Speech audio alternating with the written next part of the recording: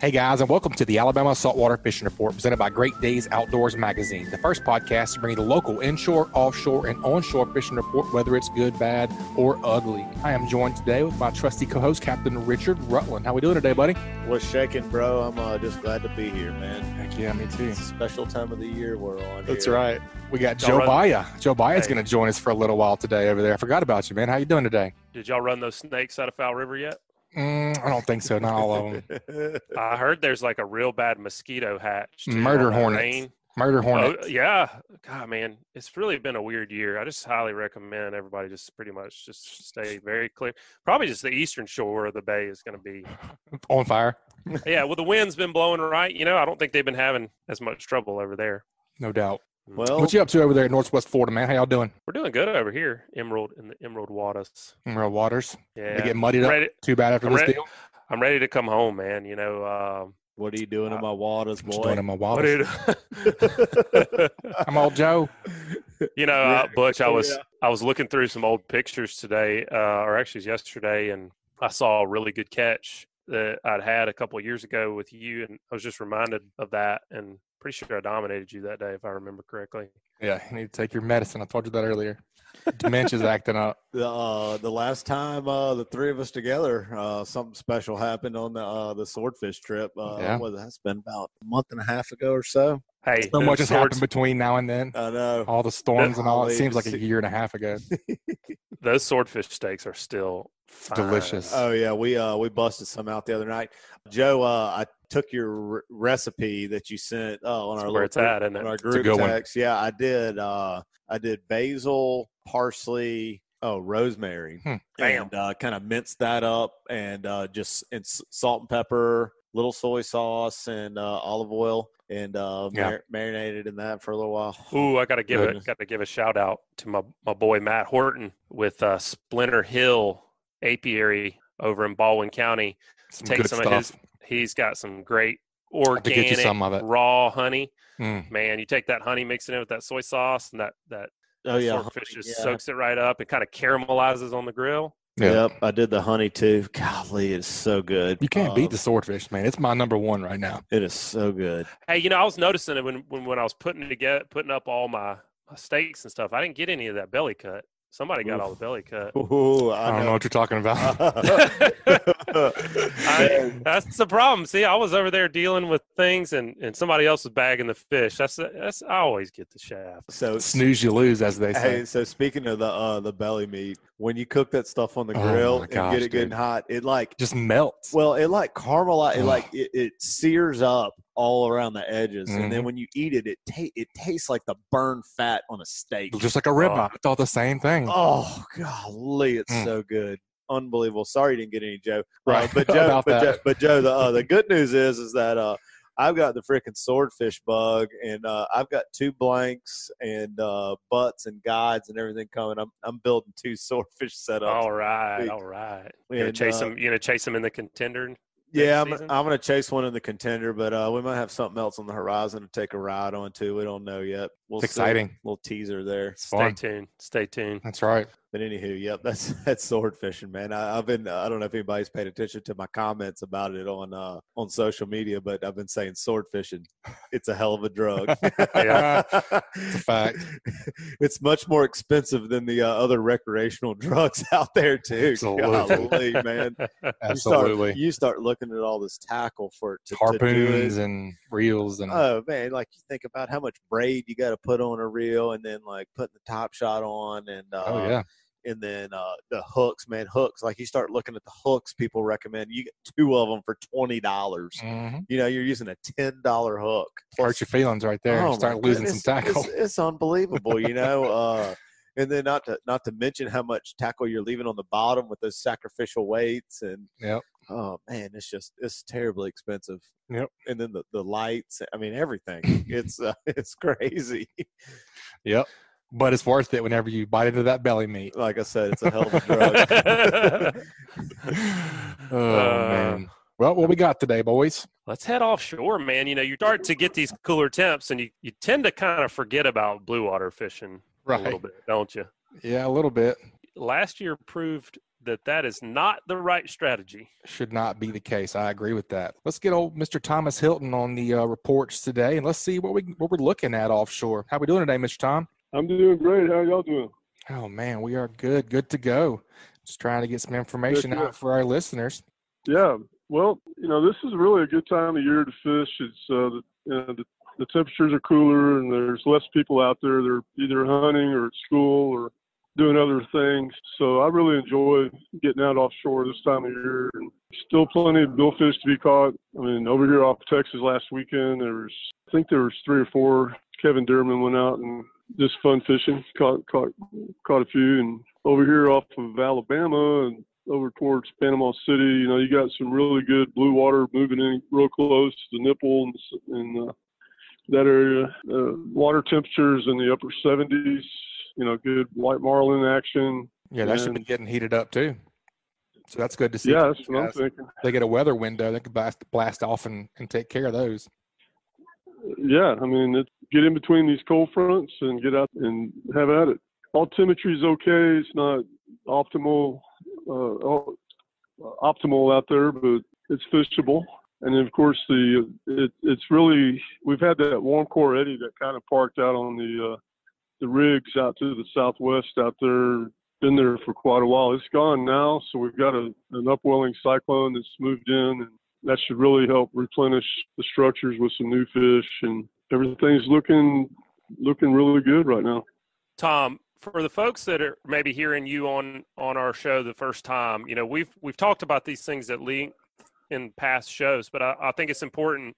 We don't, don't know if somebody's just hearing us. Talk to them a little bit about altimetry, and, and when you say the altimetry is okay, what what they're looking at and what they're looking for, that why that's important. Yeah, altimetry is the measurement of the surface height of the ocean, and it's it's measured using radar. It's the same instrumentation that your state trooper uses with his radar gun. He's shooting you with a radar beam and uh, measuring your distance and calculating your speed. Satellites do the same thing. They're bouncing these radar beams off the surface of the ocean and they put the wave heights through an algorithm. And it develops a, a mean surface height contour chart every day. And this is constantly uh, changing these structures, your your depressions, the, the isobars that are below mean sea level are indica- indicative of upwelling nutrient rich areas, which is really where you want to be optimally. The areas, the bulges that are the, the elevations above mean sea level are, are your downwelling nutrient poor areas, which, you know, these are again structures that are constantly migrating around and they're growing or dissipating in intensity. And you can put the imagery into uh, motion with an animation, the loop, the loop feature, so you can anticipate the tendencies. Are these growing or dissipating? And it'll help you make your decision on which way to go. That being said, you don't want to necessarily put all your eggs in the altimetry basket if you're, it depends on what kind of fishing you're doing. If you're open water rip fishing, better be paying attention to it. If you're fishing surface structures like drill ships or spars or semi-submersibles, you can pretty much throw the altimetry out the window because the big assumption is that the bait is free flowing with the open ocean currents. And with the introduction of these deep water structures, the bait is no longer leaving the refuge of the structure, it's sticking close. And if the bait's not leaving, then the predators are not leaving either. So I've gotten reports, you know, we, we launched the site 16 and a half years ago, and initially we were like avoid the bad altimetry at all costs, but over the years we've we've learned just listening to our customers that hey, you know, I was out there at a rig and it was in bad altimetry, but we slayed the tuna and had a, actually caught a marlin or two. So that's just stuff we're learning. Everybody's learning something every day. You never quit learning.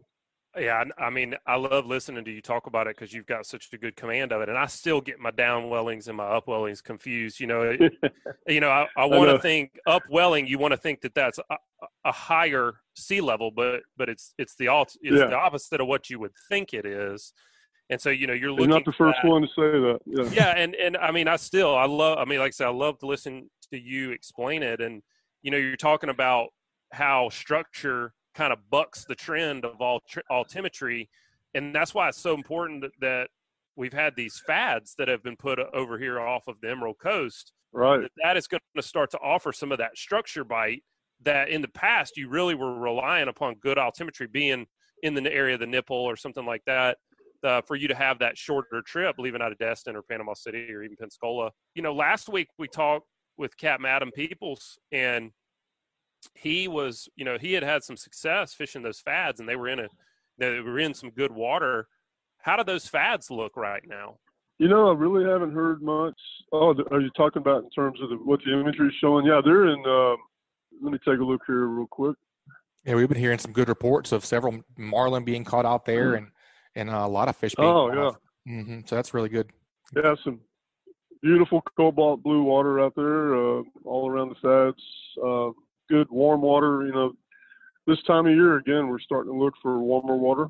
Um, you know, during the summer, you're looking for cooler water. But once it starts cooling off, you start looking for the warmer trends, and that we have a big warm influx that's come all the way in right to the Oriskany, the Antares, and that area just inshore the nipple and the 131 hole and so forth. But the spur and the fads, the step all seem to be, they're all in really good, deep cobalt blue water. Awesome. Sounds like if folks hear. can get a window and get out there, they ought to be able to catch some fish if this dang weather would cooperate. Yes, sir. Now and again. Yeah, what, hur- what, what, hurricane are we having this week? right. Big hurricanes. Goodness gracious. I am so ready for 2020 to be hindsight. Oh, it's man. just been a, a weird, crazy year, you know. So I'm really, Amen. really ready for 2021. yeah. Amen on that. Well, Tom, yeah. that's uh that's a great uh great blue water report, man, and we appreciate you sharing yeah, you. sharing that with us and pointing folks in the right direction. You know, of course, we recommend folks get up with you and and get a Hilton subscription if they want to, you know, stay on top of this information and be able to grasp it at a moment's notice. But the thing I really like is that if if they want to call you and talk to you and and ask you these same kind of questions and get their upwellings and their downwellings right before they go. you answer the no, phone that. at that place, don't you?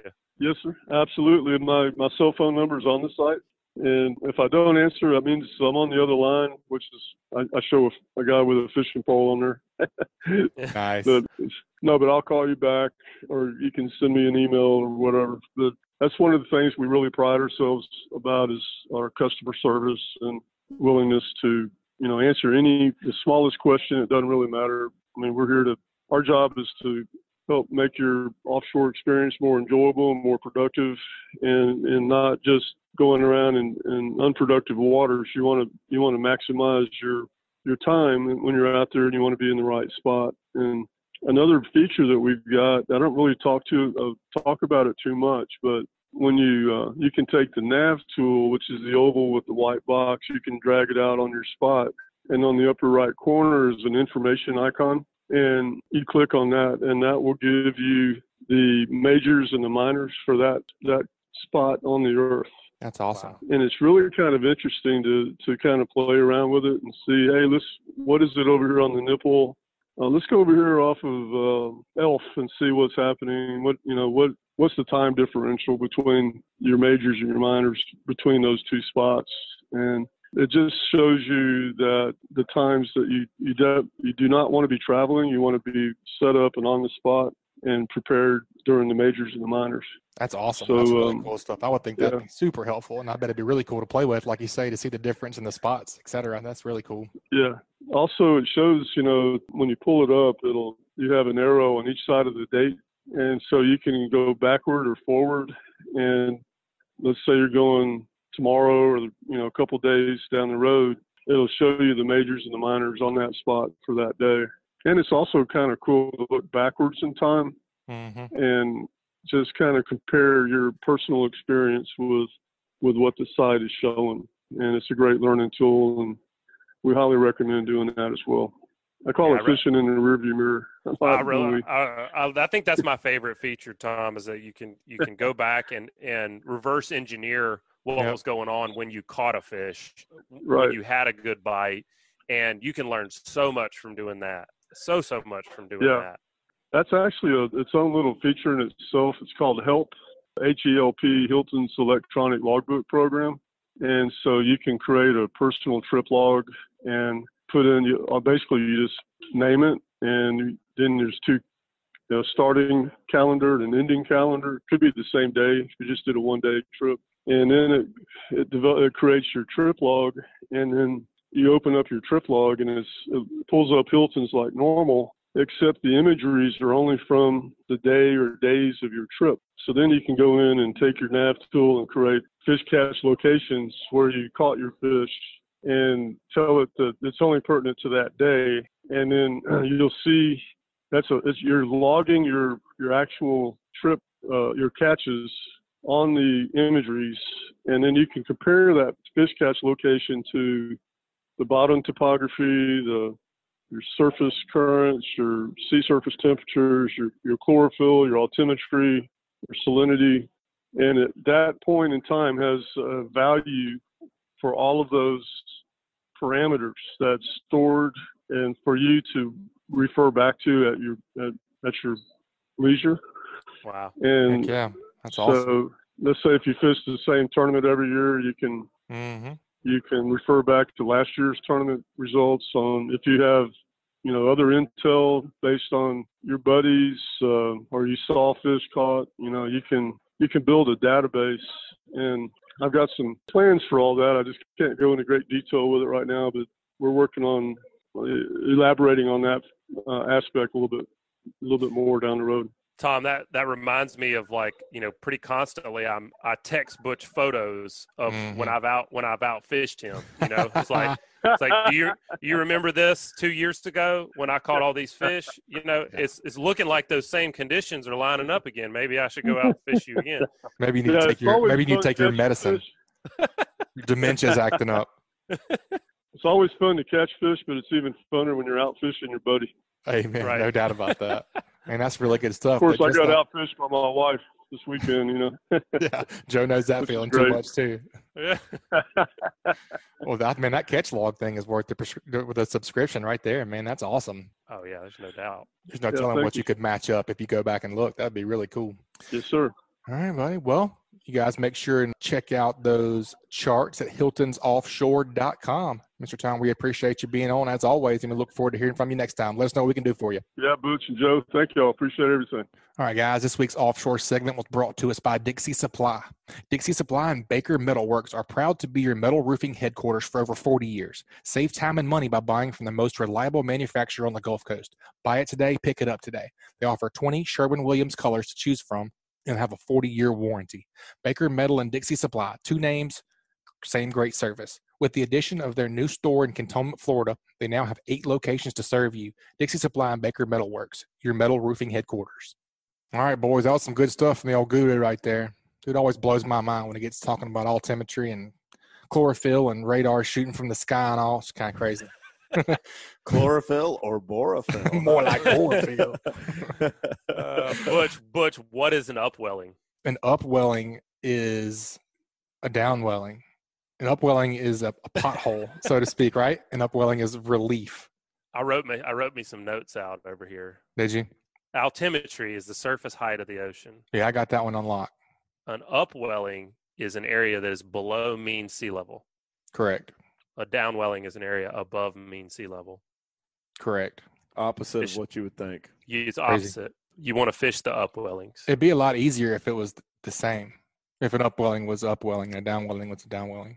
Yeah, or it you can make all this very easy. Just Why make it so buy- complicated? buy yourself a subscription to Right, Hilton's Right. and call Tom and say, That's right. "All right, Where do I'm I need to this go fishing?" weekend. Tell me where to go, boss." Yep. And he'll do I do like it. that plan. Oh yeah. Man, that's all. That's that's pretty incredible that we uh, Some cool technology. yeah we have a contributor a sponsor on the show that literally you can buy a subscription and he's uh he's he's full he's he's the real deal. It's full No doubt. service. Like you can pick the phone up and call Oh yeah. call him and say, "What am I looking at right now?" You know what I He'll mean? walk you for, through it all. for for the guys who are who are going offshore already and want an area to start in, or just Give I- me when- some sort of direction. Yeah, when I run a hundred miles offshore, should I go east or southeast or or west? You know, which way do I need to go and Yep. and get and get it all explained. Um, and the thing is, like one you're on, talking about, one Richard, on one. for what you'll save in fuel on one trip, it's it Oh my pays it. gosh. ten times over for sure. Not run, not running around. hmm Captain Tom's fishing hotline. That's right. All All right, Joe. I'm out of here, guys. Y'all have a good show, and you too, uh, man. miss you boys. Yeah, Take man. it easy. Thanks for being on. You Come too, s- Cap. Come see me again. All right, Captain Richard. Let's head on down to half of the wrecking crew. Let's see what old Captain Bobby Abruscato is doing. Bobcat. What you say, Captain Bobby? How we doing, buddy? How are you guys? Oh, we're all right, man. Get to Elect- sit around are and you, talk are you election are you election weary? Oh man, I don't even know what I am on that topic. I tell you what, I'm ready. Yeah. I'm ready for it to I didn't mean I'm to just start, ready I for didn't it to mean be for that over. to start off on such a bad note. Yeah. Oh man, That's all right. well, yeah, it's hard. It's hard not to. Right. Uh, it's hard not to. to Sure. Well, go- You know, it's just. It's just. let's let's we'll talk about some good stuff then. That's all right. Let's talk about fishing. What you been after, man? What you- Yeah. what's been going on with you? Well, I'll tell you, I've done a, a probably since we talked last time. I've done a number of different things. Um, I've had uh, some really, really, really good topwater mornings. Really good complete trip, a couple complete trips on topwater, which is, I mean, you guys know it. That's the to me is the my favorite, and I think it's a lot of people's favorite way to catch fish. You know, it's just so exciting and so visual, and you know everybody enjoys it. And typically, you catch you know better quality of fish, but uh, we've had some really, really, really good trips doing that. You know, and that's kind of typical of the fall. And then, you know, continuing too, depending on some of the days and the conditions. The shrimp and the shrimp imitations and the popping corks and the river systems has really been the deal to get the numbers in the boat and the numbers of fish that I'm catching mm. right now just continue to be through the roof. I know I had a stretch last week, or maybe it was a week before, or the two combined, or something where I had seven trips in a row, triple digit plus days in a row. You know, that's fun. I don't care who you are when you're catching that many fish. And when I say No days. I'm not talking about 12 hour trips. These are like in three or four hours. I mean, a couple mornings we had these guys were keeping up because they had a little challenge among themselves. I mean, they were keeping up with the number of fish, and I think one of them said, "Do you realize it's only 8:15 and we've caught 118 fish?" So it was, uh, That's nuts. yeah, yeah, That's you know, and, uh, yeah. I had a picture of a guy. Um, I had a father and son uh, on the boat, um, and again, Richard, you know, Rich, what you do too. When you're fishing a lot, your days all run together. But I had a trip where I was took a picture of the guy catching our, our which our limit was the 18th fish, catching his 18th trout. And the sun was just clearing the marsh grass, you know. so that's, That's that's how quickly you're going out there and getting it done on these mornings, you know. So, you know, it just continues to be phenomenal. The bad news is we got a slug of water that's coming down through the delta. Um, I fished in the lower end of the delta today. I ran up there. I didn't do much fishing. As soon as I saw the water, I turned around and hightailed out of there. But we got a big bubble of water coming down. And man, I'm hoping this is it because everything was really staged up well to to uh, start catching some fish. And Richard's already caught some fish up, uh, you know, up in the delta, and uh, so it was all get, kind of getting right for it. So I'm hoping maybe nothing went too far, and you know, we get through these next couple of days without everything getting totally flushed out of there because the rivers have already cr- crested. The Tom and the Alabama both have crested and are falling fast. So. You know, hopefully this slug will get out of here and, and uh, we'll get some good cold weather and that thing will happen this year. Yeah, I tell you, uh, for me, I haven't been doing a ton of uh, speckled trout and redfish, and Uh, I've been doing a lot of my uh, my flounder tagging with the uh, with the Sea Lab the past uh, several weeks, and the the times I've gotten to go, I tell you, what's really just a twinkle in my eye has been the numbers of speckled trout we've been seeing is Mhm. Unbelievable. And of course, we've been we've been preaching that on on on the show all year. You know, since since the spring, just seeing all the numbers. Yeah. And uh, man, it's just so. Tell you so- what. it's so good to see that. thought Bobby's talking about numbers before 8:15 or whatever. that day, me and Killer Doc J got to go out right before the storm. We counted 51 at 7:58. So before eight, you know, that's doing work for us, man. That's about- yeah, that's That's getting it done for anybody, brother. That's doing it right there. You Yeah. know, and and just on on on top of all of that, you, you know, uh, uh, talking about the numbers is it's they're they're all over the place. It's everywhere you go. You know, Right. it isn't just one small area. It's not just the lower end. It's not just the island. It's not just the the uh, the northern end of the bay. It's everywhere. The rivers, anywhere you go, there's lots of fish. You know, so it's uh, it re- it really bodes well for our future. I'm sure it does. And uh, Bobby, just uh, maybe tell me, uh, tell me what you're seeing. But what I've been seeing is, uh, you know, we're usually kind of you know, uh, as a guide fisherman, we're fishing every day, uh, very frequently throughout the week this time of year. Uh, and what I've kind of been seeing and what I've been, my, my pattern in the past several years is uh, generally as soon as fall hits, we start catching the fish kind of on the outsides of the mouths of the rivers, and then they get in the mouth, and then they start pushing up as it gets cooler and cooler and just for our listeners, you know, that's kind of what you need to do. You know, if you had a little success two or three weeks ago outside, you need to move up the. Up you don't think the the weather changed all that pattern? No, I mean I, that's what I that's what I'm getting at is is I think that the fish just slowly but surely are pushing in these rivers. You know, it doesn't. It's not like you're going to catch them at the mouth of uh of Dog River and then like you know a week later catch them at Navco right at the very sure, top that makes sense. at the very top. You know what I mean? They're gonna- gradual thing. it's going to be a gradual thing as as it gets colder it seems like they push farther up it's the same way with the causeway as well you know in the Mm-hmm. delta and whatnot is that what you're seeing too bobby Yeah, and you could just, uh, you know, and he mentioned use dog as an, as an example of the delta. It's you could plug any river, you know, on the in the bay on the both the eastern and, and western side, and the in the rivers and bayous down the sound to everything he just said, because that they do the exact same thing in all of them, you know, and um, so you know, and and the other thing, you know, that Richard just said too, that I want to kind of expand on just a little bit is you're not going to just go to the same place every day and catch them. Those fish are kind of staying on the move. So don't go out there and just throw your anchor out. You know, look around for those signs, particularly, well, really on both ends of the bay, but uh, and down in the sound, but uh, particularly up north, the shrimp activity, which leads to bird activity, really gives them away. And then those fish slicks we talk about all the time, you've got to keep your eyes open for those signs of fish because where you caught them even yesterday or two days ago may be a dry hole today because those fish are staying on the move so much. One of the areas that we've been catching fish since literally since Labor Day. I started that today and didn't get a bite, Hmm. but a mile away it was an absolute feeding frenzy and it was the same fish. You know what I'm saying? It's just uh just the fish stay on the move so much so you really and I love that. I, I like to me the fun is finding trout are easy to catch. You know, they're just finding them's the hard part. And uh but if you can find, you know, stay on top of these transitional period fish and figure out how to locate them. it, The fun part about it, today I never saw another boat. I mean, I literally never saw another boat. I had it all to myself and caught, I don't know how many fish we caught, you know, but it was phenomenal. And that's the way it's been. So if you learn how to do that, you know, and pay attention to those signs on these moving fish that Richard was talking about, you can have a lot of fun, man. That's why we like it. We like it all, but that spring and fall fishing, these transitional period fishing, to me is a whole lot of fun. The challenge in itself, but then the rewards of it really make it a lot of fun. Oh yeah, I'll tell you. Uh, one thing I, I don't, you know, it's funny how you get these, uh, uh, how things come and go, pieces of equipment on your boat or whatnot. You know, I used to carry a pair of binoculars with me all the time on my boat, hmm uh, and I don't do that anymore. And I don't know why. Actually, I do know why. I started hunting and I started bringing binoculars with me hunting, and it's all in my hunting stuff Yeah. and not in my fishing stuff anymore. But I used to bring binoculars with me, especially when you're fishing like this time of year when you've got uh, all those fish are kind of staging up to go in the rivers and whatnot. And you're fishing some big open water spots, kind of like what you were today, Bobby. And uh, man, bu- busting out a pair of binoculars, uh, helps a lot. oh man, oh man, Yeah. big time. Can really, I, I can't. I, I, I got to tell you something, man. I was thinking today. I used to do the same thing. I was thinking on the boat today, and this is mainly because I, you guys are young and y'all still see well.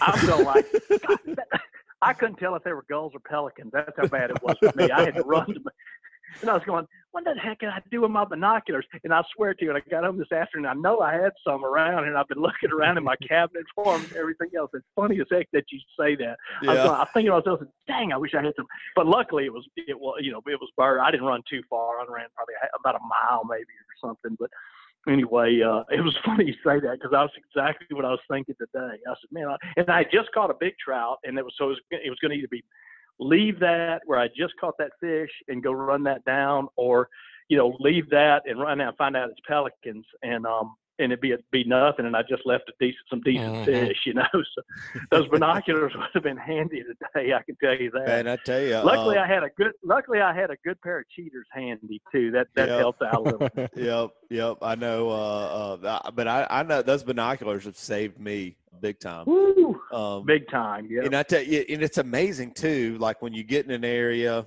I'm always looking up, looking in the horizon, you know, kind of looking for that cloud of birds and whatnot. Yep. And sometimes you can't see them real good. You know what I mean? You pick up a pair You of binoculars, you know, and you can tell exactly what's going Yep. on. And especially like what we've talked about in the past, you know, like if you see pelicans diving, they're usually eating pogies. If you see uh, uh, politician birds, uh, Yeah, that's uh, that's perfect. For Yes, it today. is. Uh, It's uh, applicable. you see those uh, lyre birds or politician birds. They're uh, they're usually eating uh, little smaller pogies or minnows. Laughing gulls are eating shrimp, Shrimp, and there's yep. trout underneath them. You know, so Yep. that's That's what you laughing gulls and the greater terns, the bigger terns. Those are the two you're looking for. that's Out of right. the four birds, we four types of bird, five types of birds we run across. That's the ones you're looking for. Laughing gulls are great. Not only can, because good thing with laughing gulls is you not only can you see that you can hear them from a long ways Oh, away. yeah. You know, Oh yeah, you I'm know, like a, so uh, I'm every like time a, if we're yeah. fishing and I hear some of them, I'm going, I'm looking around, going like, where's coming from? Where's that coming through? That's fish right there. If y'all can find that where that's coming from, that's Yep. fish. Like a bird dog yeah. pointing? I was gonna say, I'm like, it's like I'm a, like I'm like a bird dog. I Yeah. hear those laughing gulls. I'm like, where are they? Where are Ooh, they? There's something going on. yeah. Look like pepper with some ducks. Them ears pop up, just like you said, just like a bird dog. Boop, them ears Yeah. pop up. That's Hey, uh, I wanted know? to back. I them wanted to laughing back. because the laughing gulls are lazy birds too. They don't like to just fly around. The, the terns go around and look, but those laughing gulls, they're lazy, man. They'll they'll sit on the water till something starts happening. So if you hear them up or you see them up, they're on they're on shrimp, which is might means need to, we might need to change the name of the uh of the politician bird and the la- and the and the seagull. But you know, Yeah, Yeah. yeah, yeah. The uh the lap the uh the politician bird. That's the working bird, right? Huh? that's right. Yeah, that's that's right. uh, but uh, I wanted to back you up a second, Bobby. You're talking about uh, looking for, uh, you know, looking for sign, watching for bird or uh, surface activity, and uh, keeping your eyes open. What about keeping your nose up? Do you? Yep. People will say, you know, you know, I'll say, "Oh, did you smell that?" You'll get a whiff. You get get a whiff of that. You can smell a slick. You can smell feeding fish. The people have smelled it, and I've gotten. I'll say, "You smell that right there? That's what we're, you know, that's the smell you look." It's a fruity smell. It smells to me. Some people say watermelon. Some people say freshly mown grass. Um, but it's definitely got a distinctive smell. You know, you if you run, and a lot of times I've done it, you know, before daylight when the you can't the birds aren't diving, or you may not even see the fish. So they've been running long, you know, pre dawn, and get a whiff of it. And you turn, you know, you're obviously at that point you're downwind from it, so you got to figure out where it is to get upwind from it. But it'll definitely, you, you definitely can smell them feeding if you get downwind from them. man, I always For uh, sure. Always say that's a that to, to me as a fishing guide, that's a uh, that's a very arousing smell. Oh yeah. And I've, Oh, uh, yeah. I've always kind of joked around and said, man, if anybody could ever bottle this uh, smell up in a can, in an aerosol can, I'd walk around the house spraying it all over the place, you know? Because, Yeah, that's exactly. man, what, Smells it- like money. oh, yeah. That's right. That's But right. once you once you get a uh, once you get a whiff of it, man, uh, once once you get around fish several times and you see them slicking, and it's even worth it to to mess up a bite if you've never experienced it to get downwind of a of a of a of some slicks and get that smell because man I can't tell you how many times I've been just cruising along. I mean, it don't have to be uh it's not like you have to be like going real slow or anything. You can be hooked up running from point A to point B and ooh, get a big whiff of uh of those fish and you know sure enough every uh every time if you look upwind of wherever you are you'll see a slick somewhere and it's, Yep. it's usually always some feeding fish so Yeah, uh, that's right. You just have to figure out where they are based on where that, you know, how hard the wind's blowing and, you know, where you got the whiff of it. But it's definitely something to keep your, I started to say keep your eyes open for, keep your nose open for.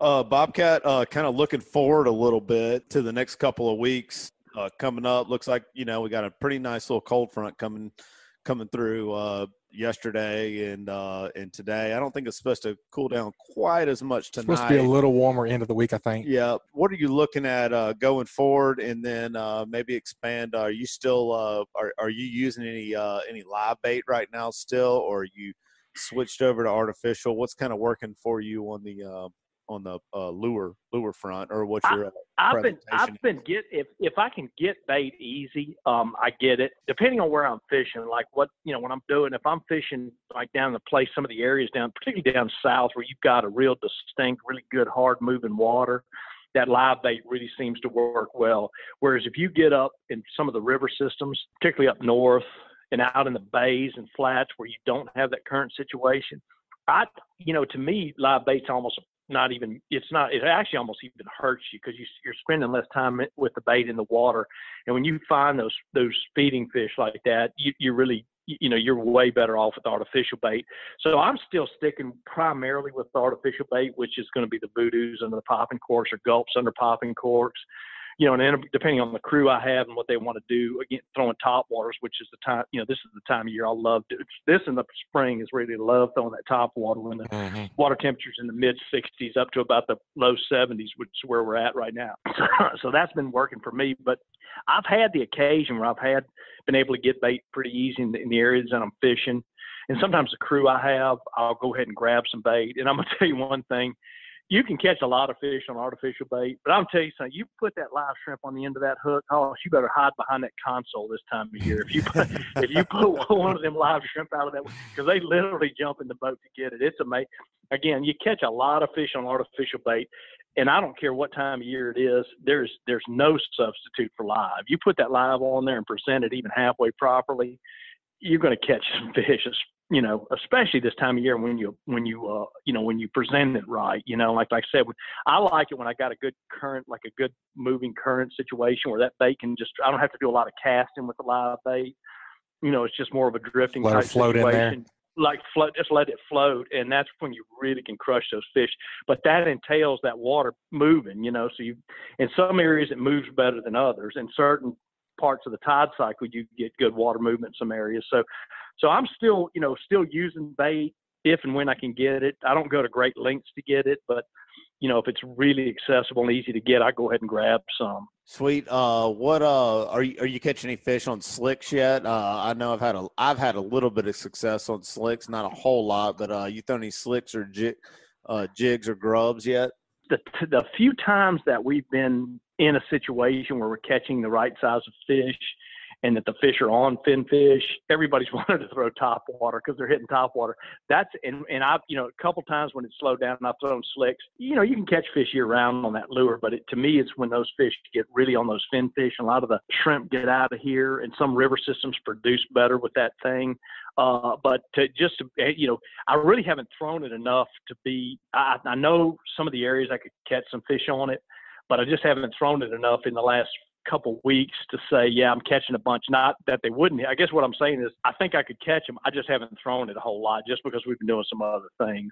Yeah. Uh, and the uh, other thing is too, it just you got to have kind of the right crew. Mm. To, uh, I'm, you know, I'm not knocking any of my guys by any means, but I mean, that lure takes a little practice to get it. It's not like a popping cork. You know what I'm saying? You got to you got to practice with that lure a little bit to get effective with it presenting it, catch, actually catching and keeping the fish on the hook and that sort of thing. So uh, there's some other things that are involved with that. And we've been, like you said, we've been guiding so much for the last two two months or th- well, really all year, but the last couple months have been so busy. You know, it's just uh, hadn't had a chance to do it a whole lot. But I can promise you this: I just sent Joey a big order for a bunch of. Uh, he's got some new colors, so I know it's getting ready to happen. I can tell you, and I'm stocking up for it. I mean, just last week I sent him a big order, so uh, it's going to happen. I can tell you that. Yep, no doubt. Yep. Uh, I've I've been having some. Uh, I've been having. I've been throwing the slick lure. I haven't really been putting my. To be honest with you, I haven't really been putting my uh, my slick lure rods uh, in the boat a whole lot lately. But uh, but I have been throwing the little slick a lot lately, and uh, and I've had a lot of success with the little slick. Yeah, I wouldn't say I get bored catching fish on popping corks, but a lot of times, uh, if we're on, just want to do something a little different. Uh, yeah, and that's all yeah. it is. is yeah. I just want to do something a little different. Uh, like today, for instance, we're fishing down on the south end of south end of Mobile Bay uh, in some of the creeks uh, right there off the Mississippi Sound. Uh, my customers were catching fish every cast on a popping cork, and, yep. and uh, it, with the Vudu, Vudu and live shrimp, we had half and half going all day. So anyway, I caught several fish on popping cork, and then I was like, man, I wonder if they'll eat a grub out here. And sure enough, I threw a grub out there, and I caught a few bigger fish mm-hmm. uh, throwing a grub, uh, throwing that little slick swamp thing and uh, the I like that one, lemon yeah, and the lemon color yeah, uh, were uh, were were uh, what they were hitting on for me today. Bobby, I remember. I, I'm gonna make you feel old, man. I remember being about ten or twelve years old. and watching you, uh, listening to you talk at the uh, Abba Shrine for, I think it was a saltwater sportsman seminar series my dad and I came to.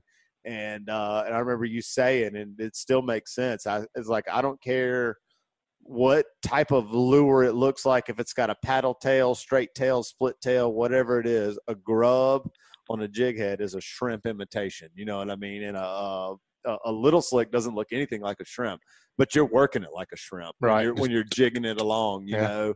And uh, and that's that's what the fish are on right now, the shrimp. What do you, what do you think about all that? Yep.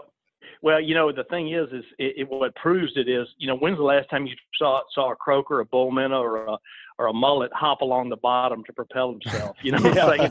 if you're bouncing that thing on the bottom, I don't care what they call it, it's a shrimp to a fish. So they can call it whatever they want, but it's it's a shrimp if you're if you're presenting it that way. So you're exactly right.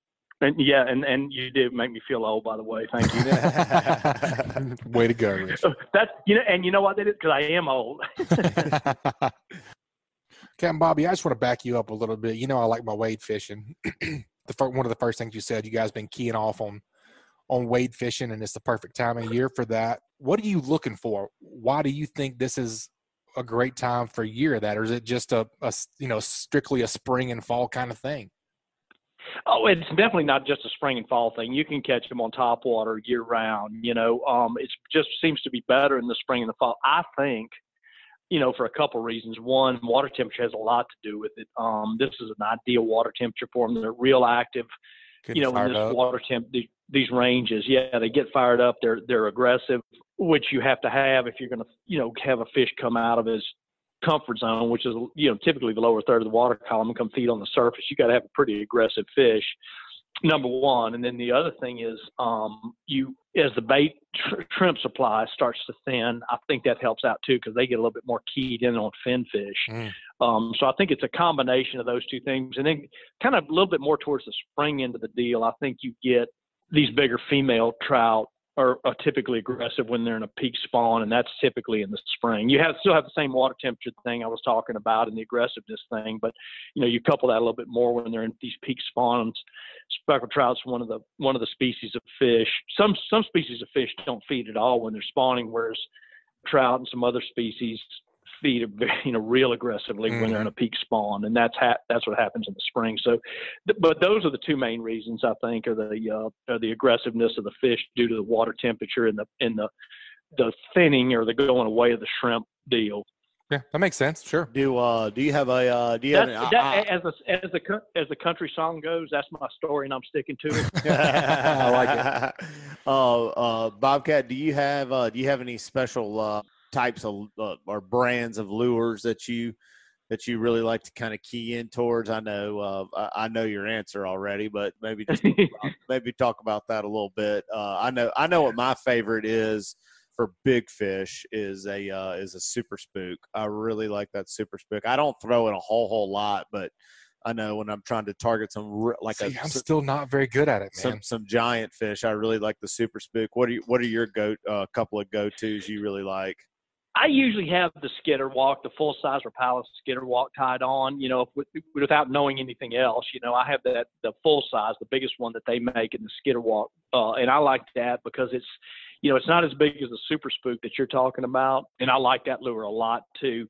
But that skitter walk, the size looks good. I like the pitch of the lure because it's as loud as a spook, but it's not as subtle as a top dog. So there's it's kind of a good in between. And then there's times where you want that big, loud, high pitched lure on there, and there's times you, when it's calm when you want a little bit smaller with the lower, you know, more subtle knock to the lure. Uh, but that skitter walk's kind of in between. And then Butch, just touching on what you said when you're talking about not being good with topwater, two things about topwater fishing um, is I ask people, "You ever caught a fish on the topwater?" And they raise their hand, and I go like, "No, you hadn't. No, nobody's ever caught a fish on the topwater. You got to catch Right. that fish has to catch himself. So Right. you don't have to be too good at it. The fish has got to cooperate to begin with. But touching real quick on the size of the lure, when I take people that haven't done a lot of topwater fishing, I always put the biggest lure I can find, which seems kind of backwards, but I want the biggest lure I can find for them.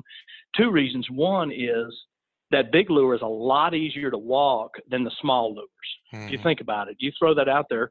So if you're just getting into topwater fishing, you want to learn how to do it, I would recommend putting like Richard's the spook, that big super spook, uh, Mhm. that type lure, the full size top dog, not the top dog junior, the top dog, and then the skitter walk that I'm talking about. The bigger the lure the easier it is to work. And that seems kind of backwards, but it's not. It's the small lures are the hardest ones to walk. So uh, they're easier to hook fish.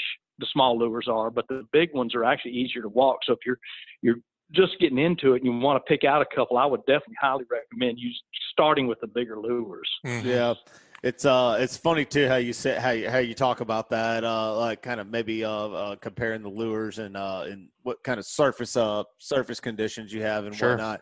I'm uh, I'm a thrasher, you know what I mean? Like I want to make as much noise as I can with anything. Basically, right. like when I like when I pop a cork, I freaking pop a cork. You know oh, yeah. what I mean? Like it. Yeah. Uh, uh, I make the water explode with a cork, and the uh, top water, same thing. I want the noisiest, loudest moving thing I can get get going and uh and it works to my advantage a lot of times and then uh and, not so much and, and not so much and bobby and you know bobby and i tournament fish a lot together and and sometimes he's a lot more successful on it. Bobby doesn't uh, he has a little bit more finesse to subtle. Yeah to his and uh and i think that's that's something i learned from him and maybe he learns from me. I don't know what i would learn from me but uh i don't know. but, i uh, guess uh, it's just one of those things that like i mean last year it's, it's, a it's a feeling thing you know what i mean? I always say yep confident, and I'm not confident with it yet. Last year, uh, I think it was last year, it may have been two years ago. You know, whenever we kind of started this thing, slick lure, and you guys were harping on that, and I had a hard time.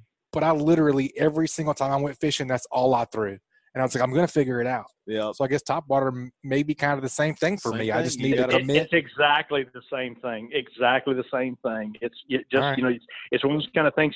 You know it, what you do, what happens with, and it's not just top water or slick lure fishing or grub fishing or whatever is the better you get at it, the more you do it. And the more you do it, the better right. you get at it. And it all just continues to build on itself. You get confidence in it because you're good at it.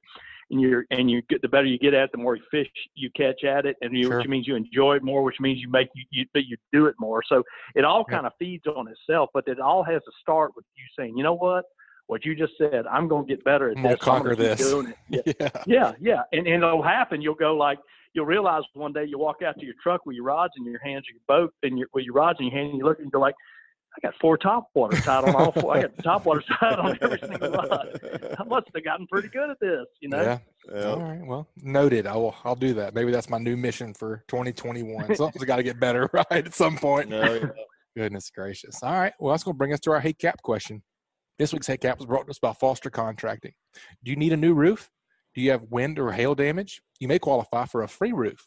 Foster Contracting will inspect your roof and provide you with an estimate. Stress free. They will handle your insurance claim. Your roof is your first line of defense this storm season. Sit back, relax, and enjoy your day. They have you covered over at Foster Contracting. Give them a call or check them out on the web, www.fortifiedroofingpros.com, or call them at 251 447 2978. All right, this week's Hey Cap question comes from Ellen M. Marine. Ellen Marine says, "All right, braid versus monofilament. Go." I think we're going to elaborate more. I like you guys are both in this situation. Let me, let me, I'm just going to sit back and let y'all talk. That's right. That's right. I'm going to check the battery on my phone. I want to make sure I got a lot of battery because we can talk about this for a while. That's all right. Oh man, what a, that's a great question. Because you know nowadays you got you know with those three whether he said braid versus mono, but you got to talk about fluorocarbon too. So there's really Absolutely three different agree. types of line that you can. Yep. Use. Yeah, you got to use. You got to have that fluorocarbon in there, you know, for the right application. But it's you can't just say, oh, this one's better than the other. You know what I'm saying? It's there's there's, there's different applications for it, each. Yeah, Bobby, Absolutely Bobby, Bobby, you, you, you kind of sound like a bass fisherman talking about uh, yeah, know. The, the, fluorocarbon. What is that? What is what is fluorocarbon, man? We this is the saltwater fishing report. That's right. yeah. Well, I can tell you this: it's it, it's the newest of the t- of the three that we're talking about. It's the newest type of line for actual cast. You know, they've had fluorocarbon leader forever, but you right. couldn't use it on your line. One, it was too stiff, and way, way, way too expensive. Uh, so, but now they've got castable fluorocarbon. So there's a difference between fluorocarbon leader I mean, they're both fluorocarbon, but there's leader and then there's castable fluorocarbon. So, you know, those it's the newest in the three different types of line, you know, as far as what's out there, you know. But uh, if you haven't used it, you know, again, there's not one that's better than the other. It's all based on the application. Very generally speaking, very generally speaking, if, if whatever you use in sinks, like a jig or a, or a slow sinking plug, like a slick lure, uh, or a MirrOlure, or that type of thing. Anything that fishes under the surface, fluorocarbon is going to work well for you. You want Less fluorocarbon on your main line. On your main line, that's exactly right. You can put it on your reel. And I would also caution with both braid and fluorocarbon is whether it be a spinning or, and we'll talk about the reels here in a second, but whether it be spinning or casting, both of those types of line are very expensive. Uh, so I would highly recommend backing it with roughly at least a third of a spool. Don't fill your whole reel up with either any of them, uh, except mono. Mono's cheap. With those two, I would put some cheap mono, just bargain bin line, just to partially fill up your spool, and then put the expensive line over it.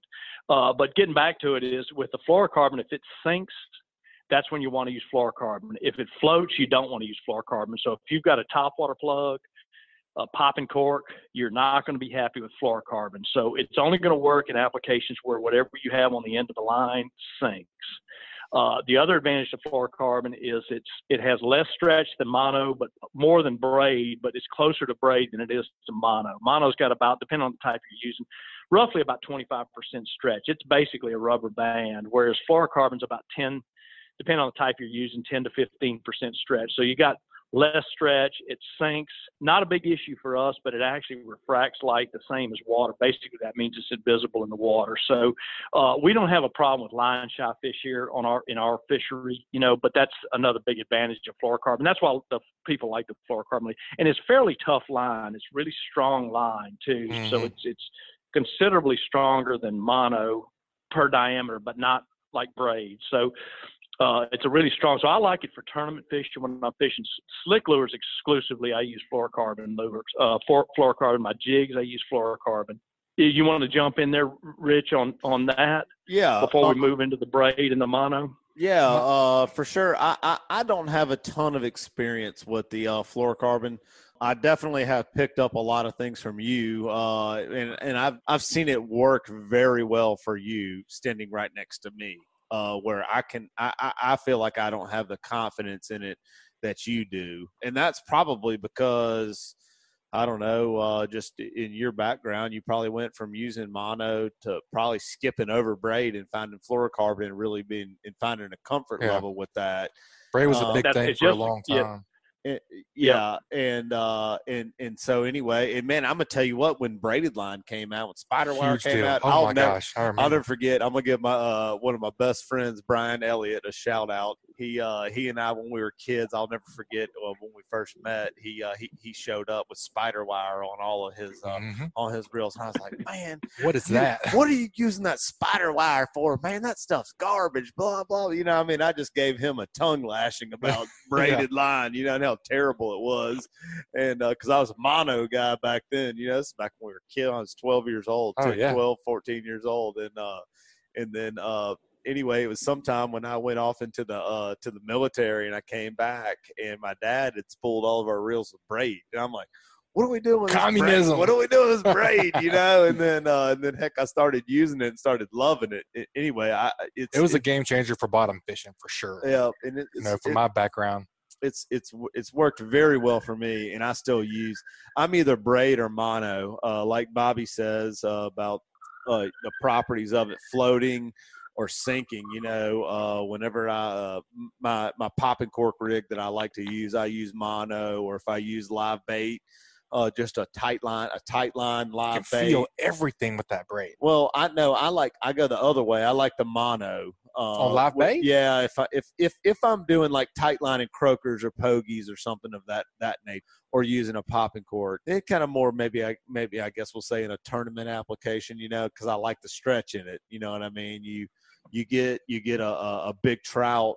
But Well, with your six foot three frame, you got about a 18 foot hook set I've seen. So that makes sense for you. I get but that. You, but if you get buttoned up on a big fish, you've got so much stretch in the line every time the fish is shaking his head True, it absorbs all coming that. up to the surface and thrashing and everything. You really have a much better chance with mono keeping the hook Sure, that makes sense. buttoned up versus with braid because braid is there's no give anywhere in your uh, I guess your line sure. uh, your connection to the fish except for the Your, rod. your drag, well, yeah, Except for the your rod. drag, your dragging the rod is the only. Yep, that's it. You know, whatever whatever give sense. the rod has. So uh I told I, I know Bobby. I told you a couple of weeks ago. I did. I, I have spooled. I've got a reel spooled up with some fluorocarbon. I've been trying it. I've been exclusively jig fishing with with fluorocarbon, and I really like it. To be honest with you, I do. Uh, and I think I'm going to get a lot better at it. I'm not great at it yet, but uh, sure. it's one of those things like we were talking about earlier. You kind of got to put your mind to something when you yeah. want to do something new, like we were talking about with top water. That's how I am, anyway. I got to immerse myself in. You it. have to put your mind to it. Yeah. You have to uh,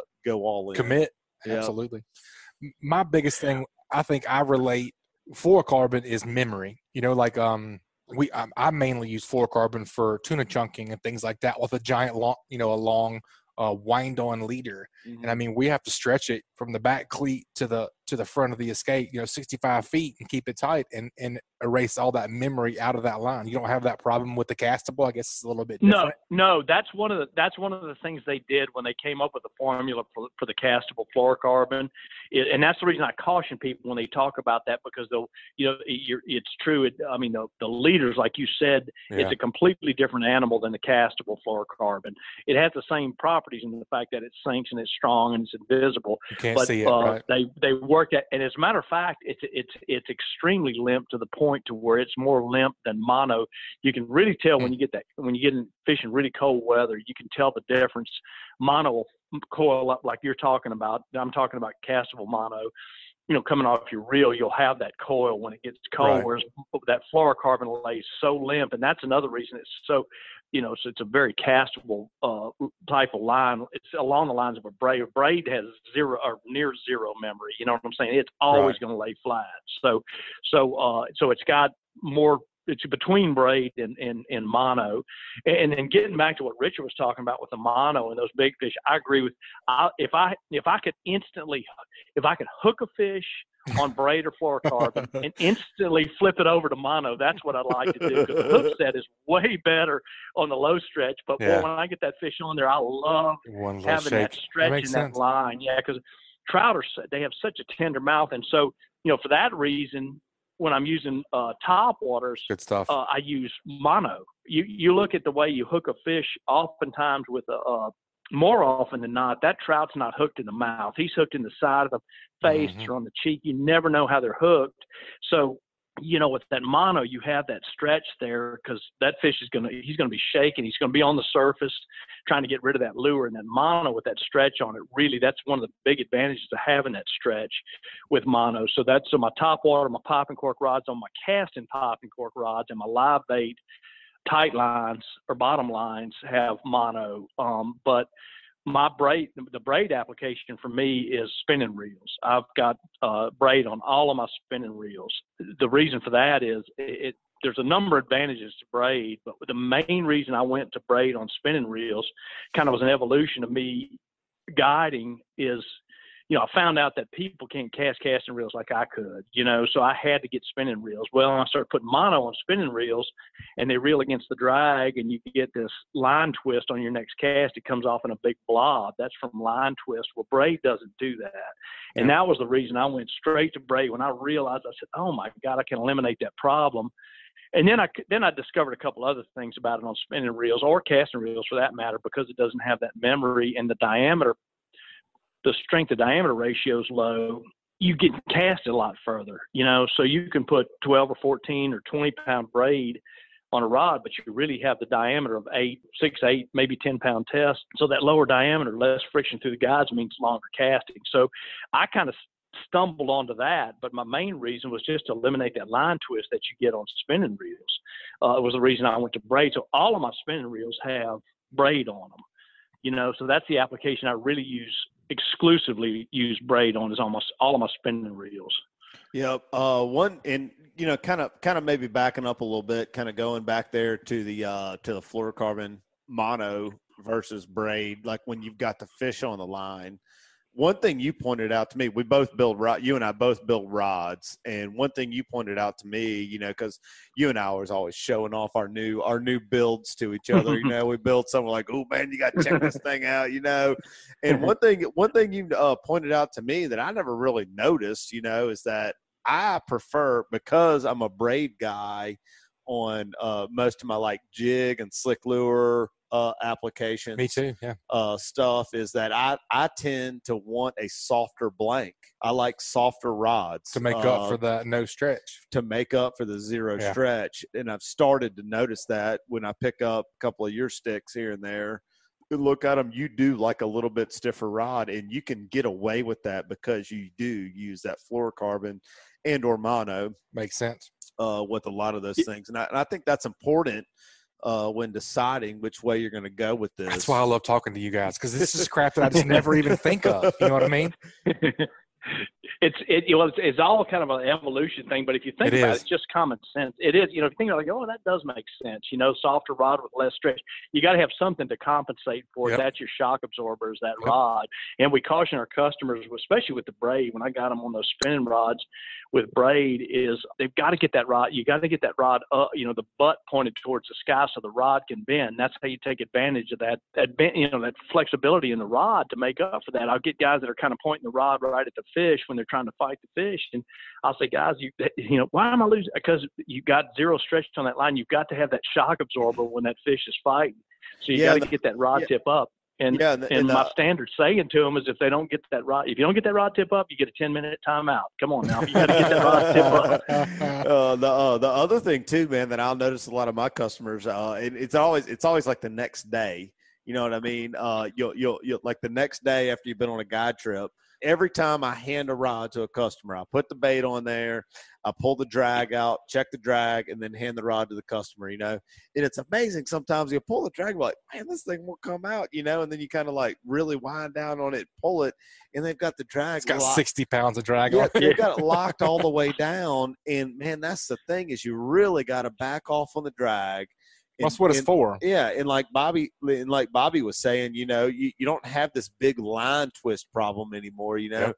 so it's okay to reel against the drag a little bit. You don't want to just be like winding a spinning reel just against the drag, but constantly like as Right. fast You got a you little more give there. I mean, I know whenever I'm fishing a spinning rod with braid, when I pop the cork, I feel the drag come out. hmm That's how light of the drag I'm, Same. I'm, Oh, yeah. I'm, uh, I'm fishing. And then when and I catch a 14 to 16 inch trout, I, when I'm reeling against the fish, the rod, I always like to tell my folks, like what Bobby said, keep your uh, rod pointed at the sun. I like to tell people keep the butt of the rod perpendicular to the fish. You know what I'm saying? So if you took the butt of the rod, like the bottom section from the reel down, and and pointed it perpendicular at the fish, that's how I like Put it on the rod. I horizon. Yep, I don't Yeah. care if it's at the horizon or at the sun or the other way, east. True, west. I see don't what care. you're saying. I don't care. I just want it. I just You want your that's- forearm pointed at the fish, basically. That's right. Yeah. that's right. And uh, and then and then let the drag and the rod do the work. That's what creates the softness of it for me. Yeah. So that you don't shake as many hooks loose. That's right, and, and you can do it. You can do it real easily, easily with that braid if you're not doing that. You know, so you know the the, the idea. And, and one thing I was going to add, one thing too, to when we, before we leave talking about braid is um, whether if you're using a lure, tie, you know, in other words, you're tied directly to a hook or to a jig head or to a lure like a slick or or to a you know even to a popping cork.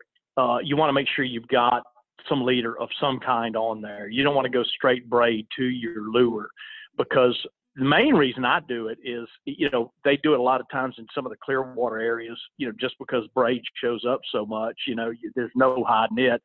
Uh, I do it because if they get hung up, if somebody gets hung up and you straight to the braid, there's a real good chance you're going to lose a good part of your spool of line Mhm. you know you want that you want that to be able to break break away. off. that's the Right. main reason i put a little little bit of leader on there uh and the other reason is you know it, it helps hide the you know even here i don't think it's a line shy issue but helps hide the line a little bit and then lastly i haven't figured out a loop knot that you can tie with braid i'm sure there's Mm. probably one out there but you know and so i love a loop knot on anything that doesn't have a split ring so that by putting a I use 20, primarily 20 pound, 20 pound fluorocarbon leader to my braid and, and then um, tie that to whatever I'm tying it to, you know. So I would recommend that if you're going to try some braid, you know, learn how to tie some. There's a bunch of different knots you can tie leader to to braid to. You can learn those whichever one you like to use. But uh, anyway, learn how to tie, you know, a two foot or three foot section leader with a small enough knot that'll go through your guides uh, to the end of that braid. Yep. I like the improved Albright as my go-to. we went into that not too long, maybe like three or four months ago. Improved Albright, we figured was yeah, was I- the best one. That's the one I like. Well, I wouldn't say it's the best one. I It's easiest. Well, I always tell people figure out how to tie what works for you, and Sure. I'm sure Bobby will tell Yep. you the same way. Bobby, you use uh, you use like almost a, a, a surgeon's knot instead, but instead of going twice, three, three or four times, is that what you do? I go three. Yeah, I use a three. So that you know, if you look mine up, it would probably it's called a. I think it's called a surgeon's knot, but uh, and, and they show it. ti- I do it three times, and um, you know, so I guess mine's a triple surgeon's knot. But it's, you know, what the best knot in the world is. You know what the best knot in the world is? The one The one you can tie the fast- best. The one you can tie fast that doesn't come untied. Yeah. That's Yeah. the best knot in the world. Because I'm gonna tell you, you better learn how to be able to tie it fast. Because the fish are going to be biting, your buddy's going to be up front whacking them, and you're trying to tie a knot. don't sit there with a. You, you don't want a little diagram that You're you have to pull out every time. You You know, do because the fish are going to be biting. It's going to be windy. It's going to be dark sometimes. You Yep. better know how to tie a knot fast. So what I do, I got five knots that I can tie fast. Poorly as I see, I can tie most of them without having glasses on. So you you know, so the best knot in the world, whether it be the improved Albright or the surgeons or the loop knot or whatever you decide to tie, get good at it. Get don't learn a whole bunch of knots. Get good at what you need, and and that's that's the best knot in the world for you right there. Yeah, bro, you you uh you tie five knots. I think you've only showed me three, man. Why you He's holding? got- why he's you peeping a little bit on me. Uh, well, and I say I tell you this, there's and actually I don't think there's even a name for a couple of the ones I use. They're just uh, The Captain Bobo. there's stuff I've come up with because because I'm in a hurry or I can't see and it's and it's held up for two days and, And I go holds, like, wow, right. that one does what? Yeah, all you right, know, well, so, uh, uh, It's the Captain Bobo knot. Yep. All right, Bobcat. Before we wrap Yeah, it up, that's what uh, we'll call one one uh one uh one thing I want to add to that about tying knots is uh something something I've done These, several times. these knots. These knots. Uh, but uh. One thing, one thing I do uh, to get proficient at tying knots because uh, I'm not above learning anything new whatsoever. And when I find something, a new knot that I want to tie, what I like to do is uh, after dinner, Over and over. after dinner, something like that. You're sitting in front of the TV watching uh what you know, I mean Butch is probably watching American Idol or something like that. Um yeah. Um uh, No. and, yeah, uh, I'm watching Yellowstone or something like that on uh on uh on Amazon is I'll, I'll get I'll get whatever uh connection I'm and trying I'm to tie. asleep. Yeah. right. right.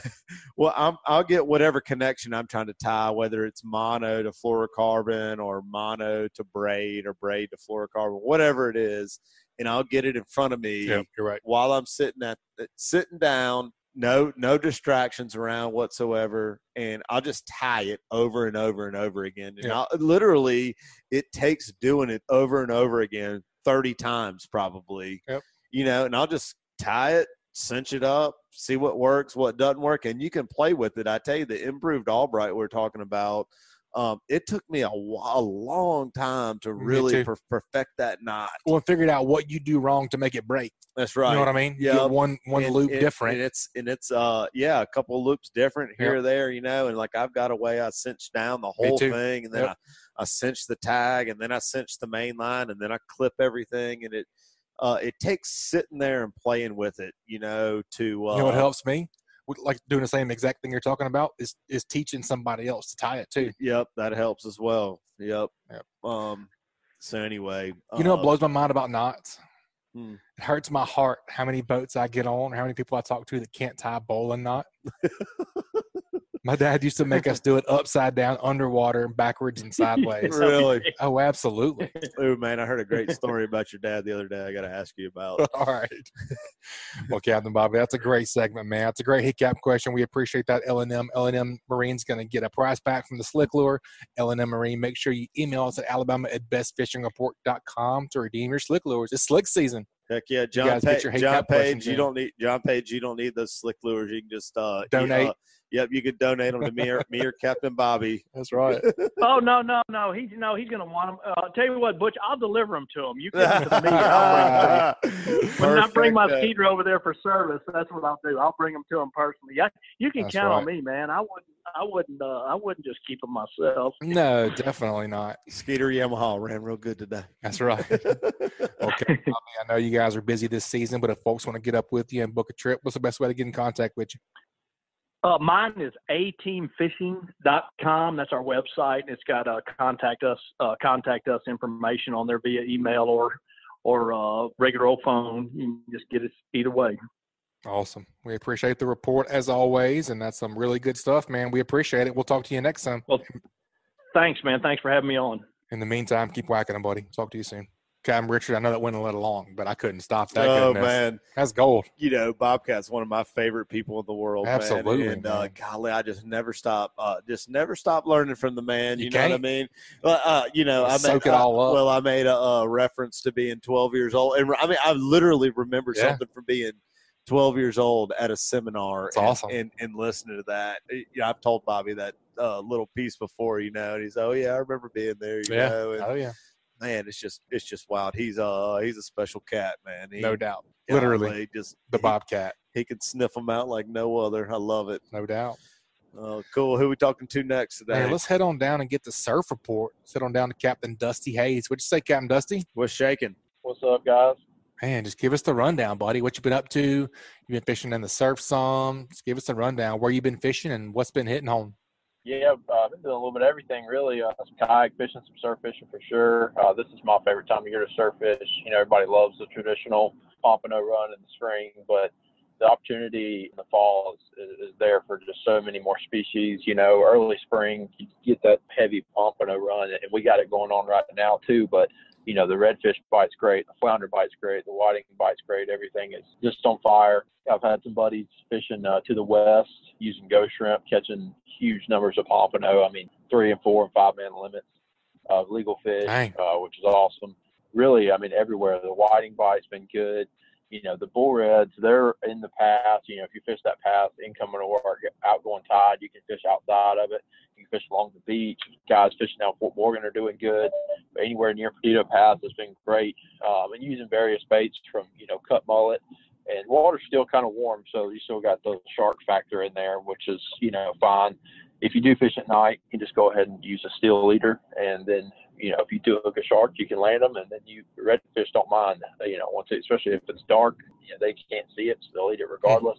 The bite's good, man. The flounder, flounder out there for sure you know, we've had a good little push to flounder, and they are technically out of season, but that doesn't mean you can't go fish for them. If anything, the the bite should progress because you know those fish aren't being uh, gigged and, and stabbed, you know, so there'll be more fish in those holes along the beach to to be there caught rod and reel. Hey, Uh, uh, talk. sure. So- hey, hey, uh, talk to us. Talk to us about that flounder a little bit, man. What, uh, what's what's the go-to rig for that uh, presentation and uh, action-wise? What you what are you doing to have some success with those? Yeah, you'll pick some up on pompano rigs and all that stuff with shrimp and all that, but you know the numbers are are, are low when that happens. Unless the flounder is super super thick, you know you're not gonna catch a whole bunch of them that way. They'll eat it, but flounder, if they're happy, they're content, there's bait there, whatever the conditions may be. A lot of times they may not move much. You know, if they're they feel safe, they're not going to move.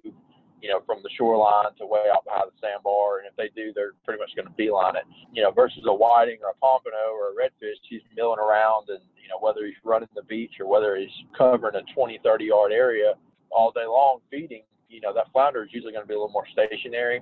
So if you really want to target them and cover the most ground, you want to use artificial lures. Use a Carolina rig with live bait such as bull minnows, finger mullet. That works great too, even croakers.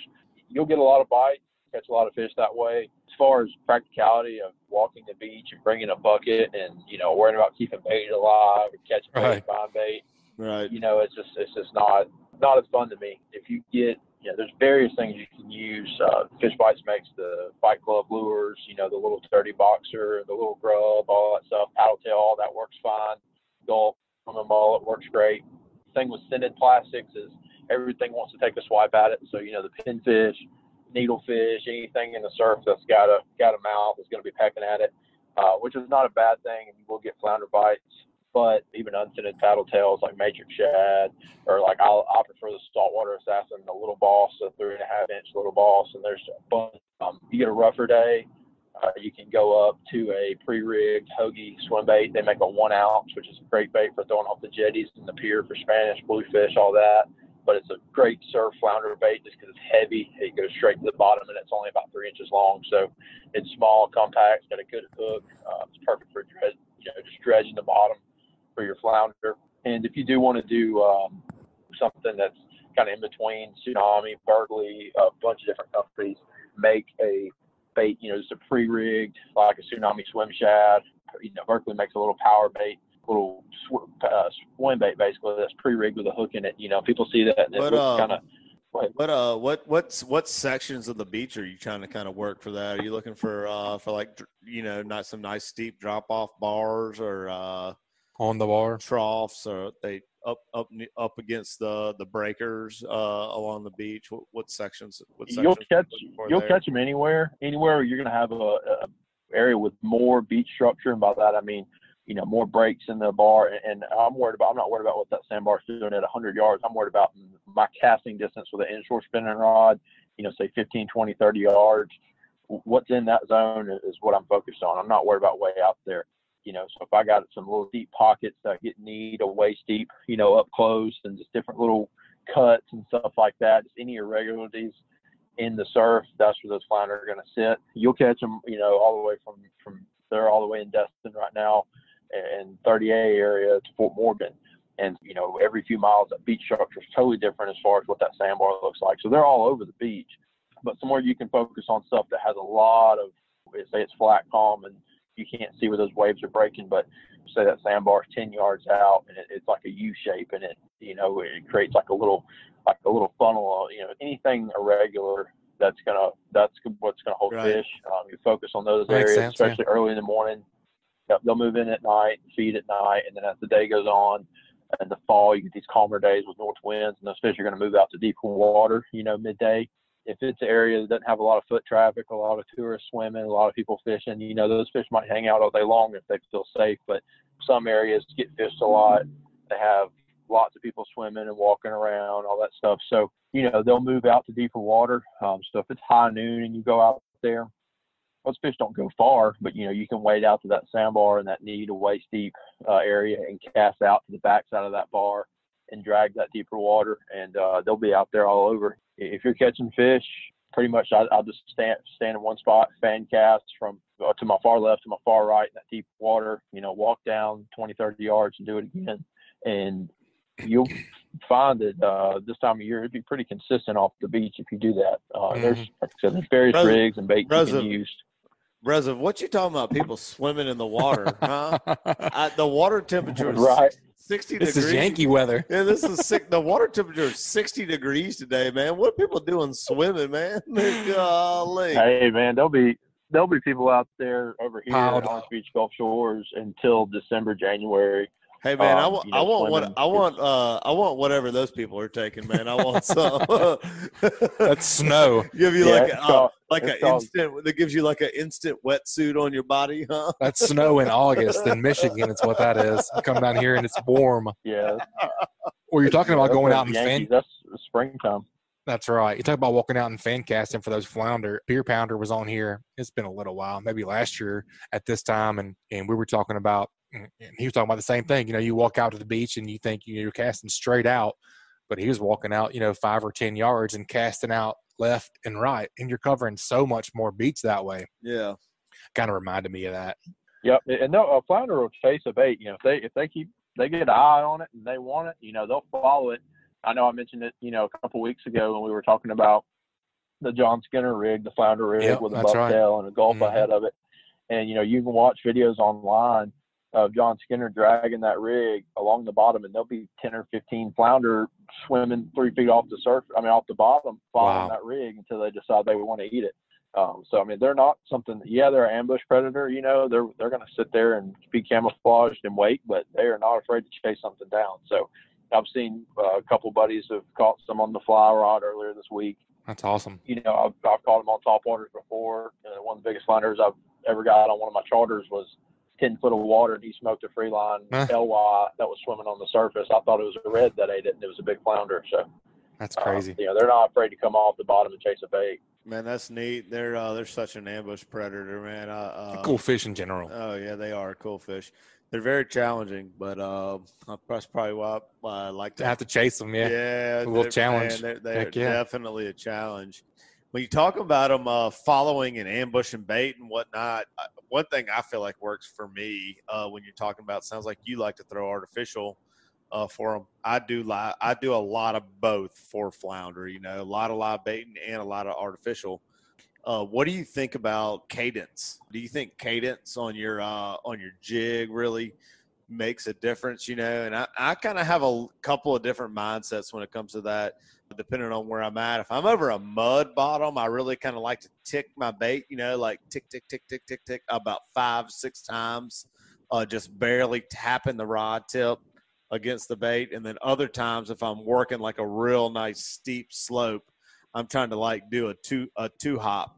It, more hop, su- hop, wait. yeah, m- more subtle than I would do, much more subtle than I would do if I was fishing for a redfish or a trout. You know what I mean? I'm trying to keep the bait down by the bottom, but I think that cadence, like what he's talking about, when he's saying that they'll, they'll follow a bait for a long time, I think keeping a cadence. They're keep- looking for something. I keep them Sure. interested. You know what I'm saying? Don't pause the bait for too long. Don't let it. right. Uh, don't jig it too much or whatever. I, what do you think about that, Dusty? Yeah, with flounder, I mean, it, it's I can look at it just as anything else. The only thing, you know, I do for certain, you know, Chris showed me, you know, years ago, and a lot of people like with those swim shads off the beach, you know, rod tip down, slow twitching of that rod tip, and then super slow reeling. And what that is making that bait just dig along the sand. And to me, it looks like a little whiting just milling around in the sand. Hmm. Um, but you know, that being said, flounder as a whole, you know, I, I've had buddies just, you know, you'll see people walking the beach, hopping a jig along like they're trout fishing. They'll catch them, and, and there's a few things to look into that. You know, say you're using a plastic with a jig head. You know, the weight of that jig head has a lot to do with it. If you're using an eighth ounce, you might hop it up and it's going to have a real slow fall back down. Versus like a three quarter, you hop it up, it's going to shoot right back down to the bottom. So it'll be a little more erratic. And the And, heavier you ones know, will move a little more sand too. Like you're talking about a whiting plowing through the sand looking Mhm. for something. Yeah, sure. Yeah, abs- absolutely, and and that's where nothing's ever for certain. You know, I constantly change retrieves on lures. Like, it, it, and the prime example is like if you fish a twitch bait like a MirrOlure or a, you know, you could be talking about like your slick lures y'all throw over there, or Mhm. uh, or even a jerk bait. You know, like you can have five guys on the same jerk bait, but with five different retrieves, and one guy might catch a fish. And like, you know, uh, a couple months ago, I got on a pattern with some stripers throwing jerk baits. And man, if you if that thing stopped, they would turn off of it. You had to reel it and, and twitch it as fast as you could. But like you look at fishing like Lay Lake in the wintertime for spotted bass throwing jerk baits, it's twitch, twitch, and you let that thing sit for seven or eight seconds, and then when you go to twitch again, they'll they'll hit it as soon as that bait moves again. So, uh, and obviously that's different conditions, but uh, I mean even in the in betweens there with warmer water, fishing redfish or trout, you know you have to vary that. And I do that with twitch baits on the flats. You know, it's sometimes it's switch, pause, sometimes it's switch, switch, switch, pause. You got to find what the it's that cadence it, they want. Keep going. Yep. Yep. But and, Dusty, it it- sound- you can Dusty, it sounds like you uh you you like these swim baits that you're just just basically slow rolling across the bottom over the Yeah, sa- for- over the sandbars. Is that is that what you for is that sure. what you prefer? Surf fishing, I, I think they're hard to beat simply because they're pre-rigged. I don't have to worry about keeping up with jig heads. I don't have to worry about keeping up with a bag of plastics. I got them. They're all I got is tied on. It's simple. They're compact. I'm a fan of compact baits. I want something that's smaller, more compact, just because it's easier for a fish to eat. You know, I don't want something that's real big and elaborate. You know, like yeah, you could catch a you could catch a flounder on a, a, a 10 inch fluke if you wanted to, but as a practical no, if you were throwing a, a fluke that was three inches long, he's going to eat it. You know, he's just going to inhale it. He's just not going to have to work it down. Those pre-rig baits on the beach are awesome. I don't use them on the flats really that much just because I don't want to have to deal with grass, and, and then I'm not going to throw them, you know, around rocks and stuff because I do have an exposed hook. So it, it'll just depend on what I'm fishing. Off the beach, though, they're pretty hard to beat. If you do kind of want like a hybrid of something a little nicer, uh, Megabass actually makes a, a bait. It's called a dark sleeper. They make three or four weights, and they make I want to say like a one and a half or a two inch, a three inch, and a four inch, uh, three different body lengths and weights, and a bunch of different colors. But it's a pre-rigged little swim bait just like that. They cost a couple dollars more. Uh, you know, they're about five six bucks a pack versus uh, or for one versus a pack, but uh, they're awesome. They, their top dorsal fin is extended up over the hook, and it's like a weedless guard. So you can use it for surf fishing for flounder. You can use it on the flats for redfish. You can use it on dock lights. You can just skip it underneath the dock. It's it's a pretty cool little versatile bait. Uh, I've been using a lot lately for everything from from redfish to flounder to bass. So you name it, they'll all eat it. Awesome. Versatile. That's a great word, man. That brings us to our onshore tip. This week's onshore tip is brought to us by KillerDock. Most fishermen clean their fish on something like an unsightly old wooden table or the top of a cooler somewhere that is not comfortable, not sanitary, and not attractive. KillerDock makes the greatest fish cleaning stations known to mankind. They are built from marine grade aluminum and ceramic coated to protect it from the harsh salt environment. KillerDock makes tables and canopies at several different sizes, so whatever you need on your dock, deck, or patio, they have a fish cleaning station for you. Check them out at killerdock.com to see more. What you think for an onshore tip this week, Cap? Just kind of as a whole, uh, incoming tide is to me the most critical component in your fall surf fishing um, and pretty much all winter. Something I look for. You can have full moon, you can have the wind you like, you can have the watercolor you like, but the main thing I want is the incoming tide.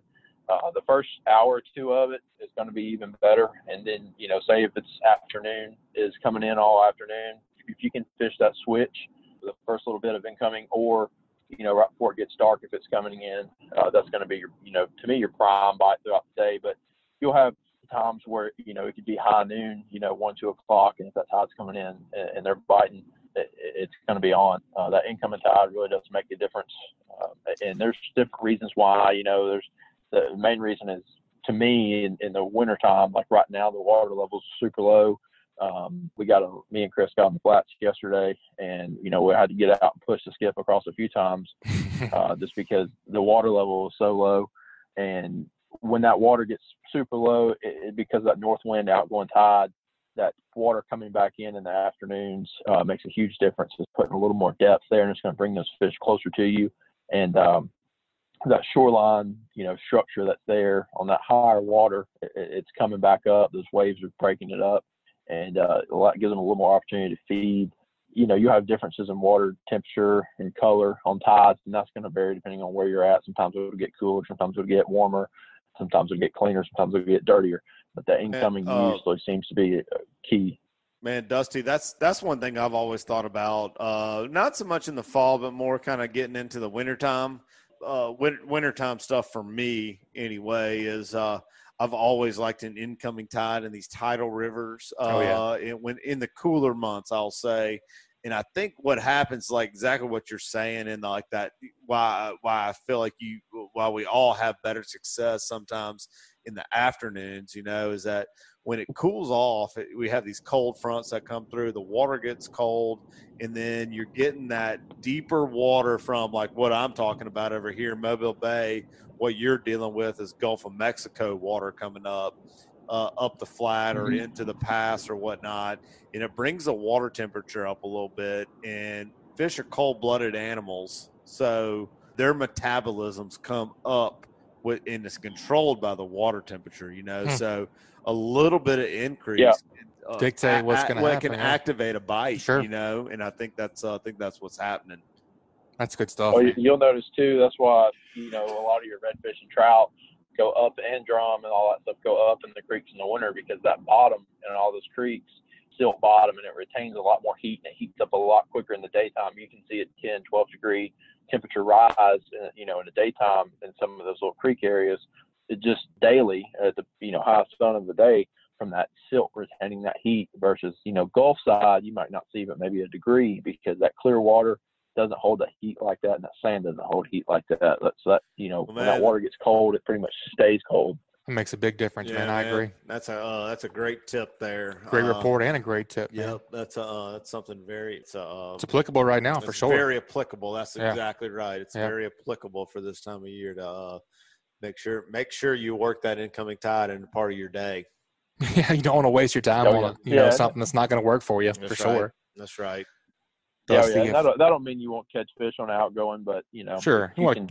If you're, if you're trying to pin it down to a you know That's time right. you want to go throughout the day, that that incoming will you know be on your side for sure. Awesome, dude. If folks want to get up with you and book a trip, what's the best way to get in touch with you, Cap? Yeah, give me a call or uh, shoot me a text. My number is 678-897-0167. Awesome, buddy. We appreciate the report, and as always, we'll talk to you soon. Keep whacking them, All right, guys. See ya. man. That's that's a really good show, Captain Richard. Woo, man, a lot of good info there. It's good stuff, man. I know, uh, I know you're really busy too, but if folks want to get up with you and book a trip with you, what's the best way to get in touch with you? Man, coldbloodedfishing.com is my website. Can go on there and find my contact info. Submit a request for uh for a trip. Get up with me. Telephone, text, call, email. Smoke signals, Yeah. trout signals. Uh, phone numbers is 251-459-5077. And my uh, email is super simple. It's uh, richard.rutland at yahoo I like it. or richard at coldbloodedfishing.com. Whichever Nice. you like, man. Whichever your preference is. multiple ways of getting a hold of me. Uh, man, this is a this is a fun show. It was. I Uh, had a lot of fun doing it, this It was. Um, we got to we got to talk to our uh, our boss man, but not Butch. You're Butch. I am uh, Butch Joe- usually. Sometimes. Uh, we got to talk to the boss man, Joe Baya. Oh yeah. um, checking in with us just about the time I always feel like uh, Joe forgets about us over here in Alabama, where he's from. hmm He checks back in and kind of gives me a Gets little back in a little. gives me a little tickle, you know, makes me feel funny where, uh, you know, makes me feel funny. That's right. And, uh, but anywho, Yeah, we like hearing from him every now and again. for sure. Just uh, not too much. Just a little bit. Well, you know, we got to do what'd you learn, man. What, well, what'd you learn? Well, this week's What'd You Learn is brought to us by CCA Alabama. Online auction was awesome last week. I don't know if you participated in that. No, but I, uh, I checked it out. I got outbid by a ton of things that I wanted, unfortunately. But I think it, re- it went really well, Blakely said. So that's really good. Thank you guys for uh, um, supporting that. A great way to support conservation efforts like the Claude Peteet Flounder and Speckled Trout Hatchery in the University of South Alabama Cobia Tagging Project is through the purchase of a distinctive CCA Alabama saltwater fishing license plate. You guys head over to Alabama Department of Revenue's distinctive license plate page at revenue.alabama.gov to get yours. Man, what I learned this week, I think the, probably the most prominent thing that stuck out to me was Captain Bobby's. He went off on the fluorocarbon and the braid and the mono, and I mean that's just so much to soak in for. uh, Man, why'd you steal my idea about what you learned?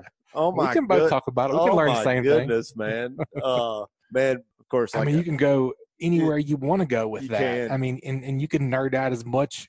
You know, I mean, I just I nerd about- out is the perfect word is. for it You're right. because you literally can and i really but i really think it i think it take uh, it comes down to as far as being an angler the one thing we I'm, that we maybe didn't talk about on there is species to species as Right. well you know what i mean and it, it really comes down to that as well and you know lure versus lure, and and every application you can do something. You know, different. we, we mostly are talking about uh, catching speckled trout with these applications, Sure. you know, but redfish is a totally different, uh, different and one, bottom you know fishing. in bottom fishing and, and, and everything. You know, like I know uh, bottom fishing wise, I, I remember used to tie braid on uh, with everything, and I used to pull a lot of fish off. And I went back to mono with that, but I used braid for everything else, you Yeah. know. And uh, and so it's really an application specific thing. and you, can get even like the rod, your Mhm. rod blank, and and how Your much give it. it your action and, and your can- uh, your and that can determine everything as well. Uh, it's uh, there's no e- there's no there's no right or wrong. right. There's no book written on you need No, this for this and this yeah, and this. Yeah, right. you took the words out of my mouth again. There's no book written on it on each species what you need to do. It's all about a fit. I, I say all the time in my uh, in like seminars or on here or whatever, man. Fishing is a feeling. You know what I mean? And that means like. You know, like where to go, what your next move is, what to throw, you know, whatever you're feeling is what you need to do. You got to react to your gut. It also comes to, to that as well, you know, like uh, how you feel about the fish being on the rod when you're fighting it. You know what I mean? Are you pulling hooks? Are you? Right. Uh, And if something's not working, you need to change. Is something breaking in your connection? Yep. You know, wh- whatever it is, uh, it's definitely trial and error to become to 100%. become great at what you're doing. It takes lots of experience and time and trial and error. Right. To, uh, Well, I mean, I'm going fishing. I put braid on everything and just cast out there and hope it works. But you can get so much more in depth than that. You know what I mean? And I'm learning that. It's crazy how much you can get. Man, it just depends on how far you want to take it. That's you know right, what I and you mean? can, like too. If uh, you know, if uh, if you're the uh, the guy who just wants to enjoy being out on the water, and, Yeah, if you're the Joe Baya that likes sunsets and cocktails, then you can do whatever dol- you want. dol- and dolphins. That's right. Dol- yeah, Dolphin yeah, cruises, yeah, Joe. Yep, that's right. Yep, no, yeah, pretty much. easy. Yep. Throw whatever's the cheapest on there. Yep, you're Yeah. good to go. You catch Uh, something every now and again, yeah, probably. But if uh, you know your uh, your name's Butch or Richard or Bobby, That's right. You got to figure um, it out. we're putting it under a microscope. That's right.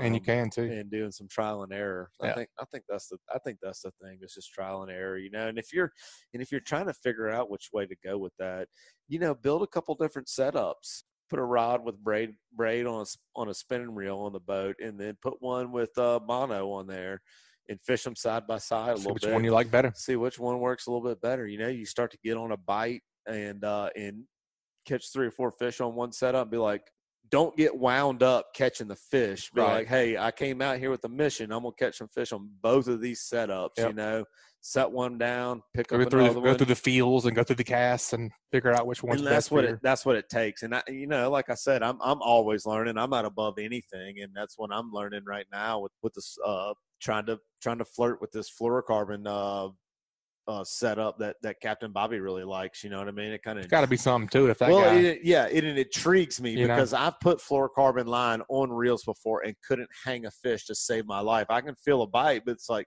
by the time I set the hook, my my uh, Right.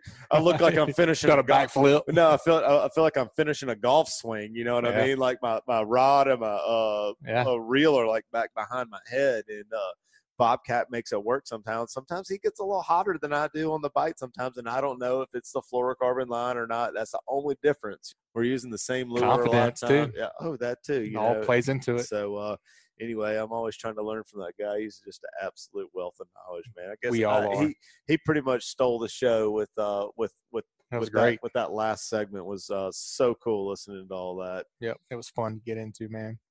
Well, I appreciate you being with me this week, man. I always enjoyed it. It's fun. It's my pleasure. Got some good stuff. Yes, sir. All right, folks, that's going to wrap it up this week. You guys, please subscribe, rate, and review wherever you listen to podcast. If you'd like us to email you the podcast each week, just text the word fishing to 314 665 1767. Again, just text fishing to 314 665 1767 to subscribe to our email list, and we'll email you the show each week. We enjoyed it. We'll see y'all next week. You guys keep whacking them.